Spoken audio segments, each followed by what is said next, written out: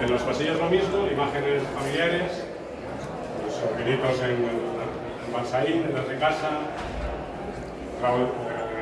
Claudia, con Buba, mi perrito. Eh, un retrato de mi madre, el único que la pude hacer, porque mi madre se negaba a que le hiciéramos fotos, bueno, que le hiciera fotos.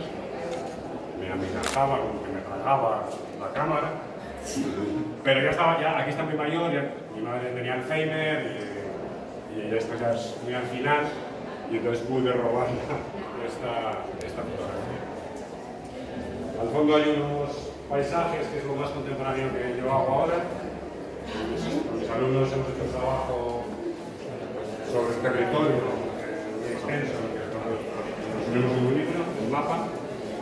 Esto es Valseca, cuando vine a hacer el, taller con, en el museo, la mujer muerta al fondo.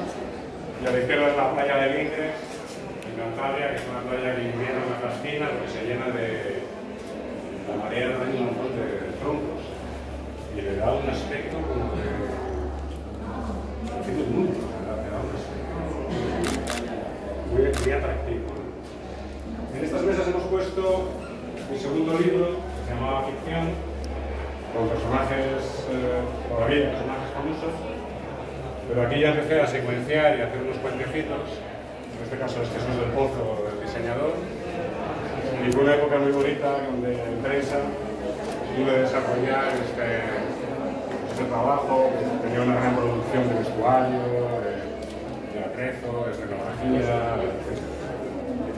Como veis, la ficción, la realidad la magia es una constante que